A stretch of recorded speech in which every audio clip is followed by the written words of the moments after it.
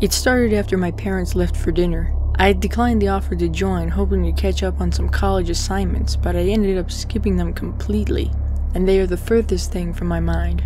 It was an Amber Alert on my phone, something I rarely find myself concerned with, but this one made me curious. I had been sitting in my old bedroom I used to live in before college, about to do some research when the jarring vibration shook the desk I used as a teen. It simply read, Emergency Alert, Hostile Animal this area. 10:32 p.m. Eastern Standard Time, Tuesday. Avoid wooded areas, check media. Type severe.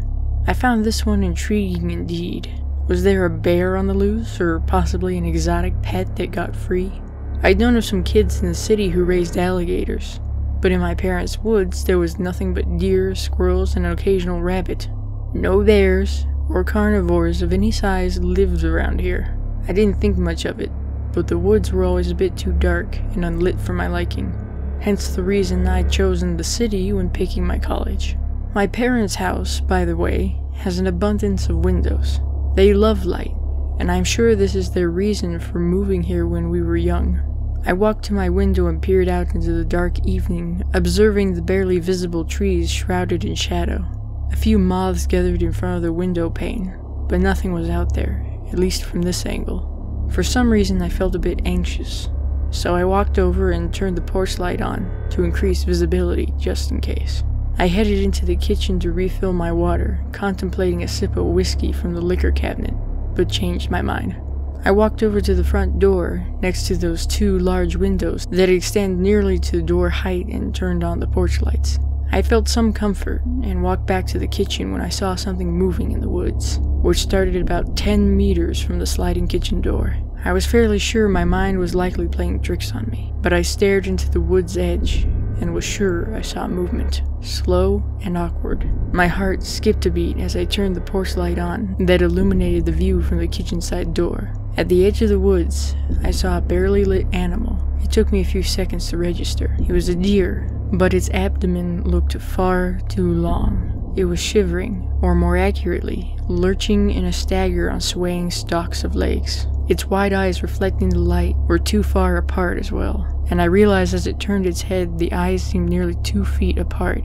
The other eye that came into view was nearly half a foot wide as well, an oblong reflector that smeared across its wide unnatural head. Shivers rippled across my neck as I watched it lift and drop the massive deformed head in effort and release, as if unaccustomed to its current state. I figured I'd send my parents a text, but noticed it wasn't going through, just hanging on, delivering. I then saw my phone service was on zero bars, which was bizarre as I'd texted a friend not 20 minutes before. I checked the internet and when I realized that was down I started to worry. I walked over to the television and turned it on, flipping to the local channels where an anchorman glitched and paused as the signal struggled. There was a news ticker on the bottom displaying an alert of massive power outages, and I felt great relief that mine was not affected.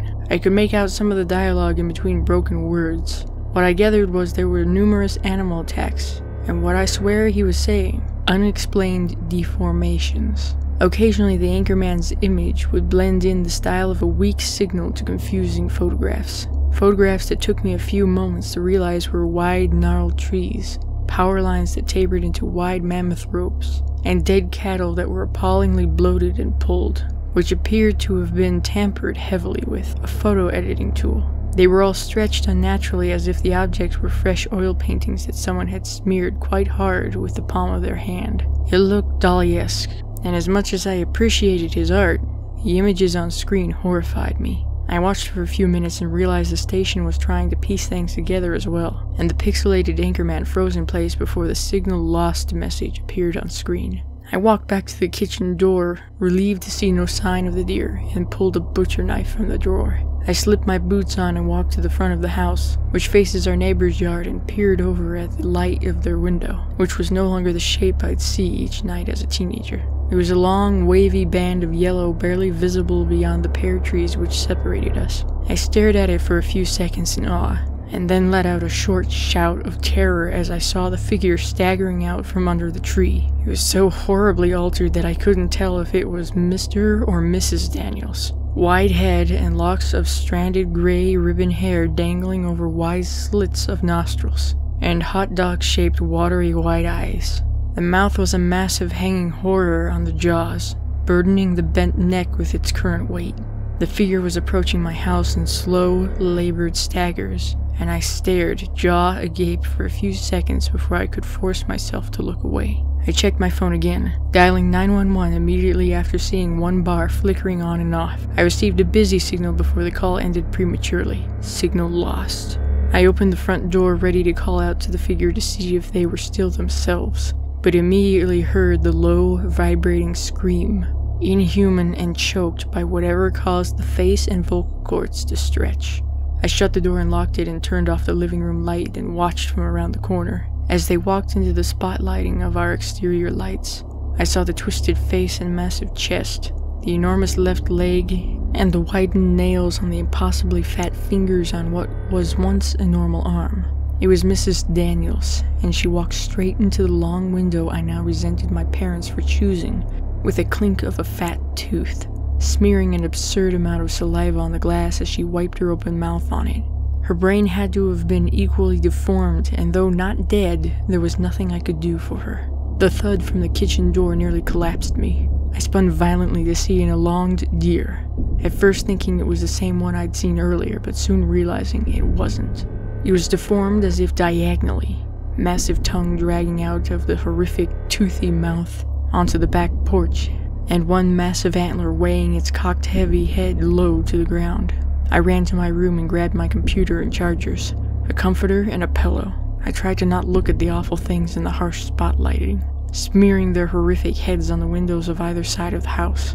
I stalled at the television, which had frozen on a photo of a jet immersed in the shockwave of a sound barrier being broken, wondering if it was related to the horror unfolding before me. When the loud bang on the living room window left me reeling in agony, I raced to the most interior room of the house by instinct, the pantry, which has no windows. There's a washer and dryer which I switched off in order to hear better. I've been in here a while now in pitch blackness aside from the dim glow of my computer and phone, and I don't expect to move anytime soon. The bathroom is connected to this room, but I'm not sure it's locked, and I'll wait until I'm desperate to check. In the meantime, I've been using the utility sink. It's 11:15 now. I was able to send an email to my parents and friends, but received none back. I only assume it will pass, and I've been making sure to keep silent, but I can't stop shaking after hearing the shattering of windows. Update. There were sounds of scraping limbs all night, and I heard a loud sniffing from the crack under the door on a few occasions. More broken glass scattering under the unseen feet. A few times through the course of the night, the television signal strengthened, I heard the anchorman's voice, stressing to stay indoors, mentioning an anonymous caller with possible insight, rumors of an experimental military aircraft, and something about molecular vibration in between the sound clipping out. I still have no phone service, and my parents never returned home. The sunlight has been peeking under the door for a few hours now, but I still hear them. I hear their low, agonized screams, deep and rippled with the vibration of fattened vocal cords. There are bands of moving shadows under the thin wood door protecting me. The door that has a hole from where a distorted antler punched through last night as I squeezed my knees to my chest, holding my breath. As I type this, I'm shaking, trying not to rattle the laptop. Through the hole, I can see an eye rolling in its socket as if trying to process what it is seeing. I think it's Mrs. Daniels.